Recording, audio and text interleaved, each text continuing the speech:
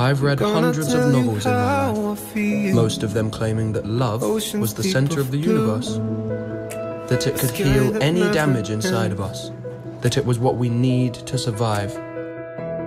I'm not afraid He's more myself than I am. my all. My darkest and Whatever our souls are made of. His and mine are the same.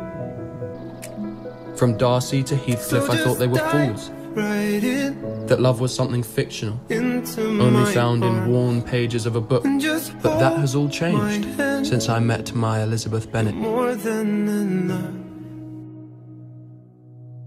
All I need is a fraction, a fraction of what your world can give. Just a fraction, a fraction.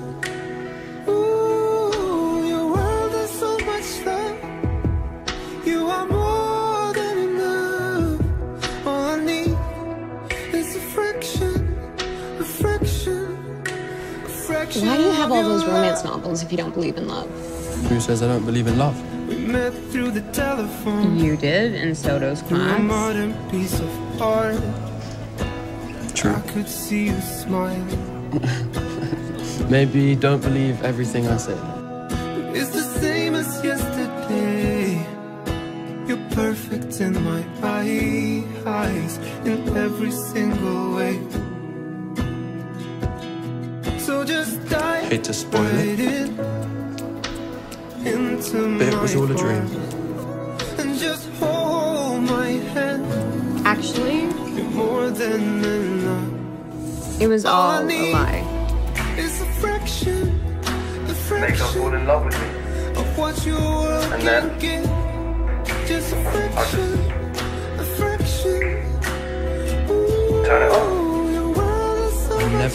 would find myself completely and utterly consumed by another until her. She took my hand and led me out of the darkness and showed me that whatever our souls are made of, hers and mine, are the same.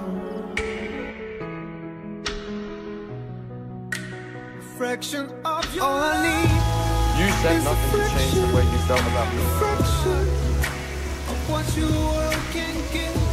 Then I guess we're both liars. Fraction. Ooh, your world is so much love. You are more than enough. I'm sorry. All I need is a Please forgive me. fraction, a fraction, a fraction You once asked who I loved most in this world.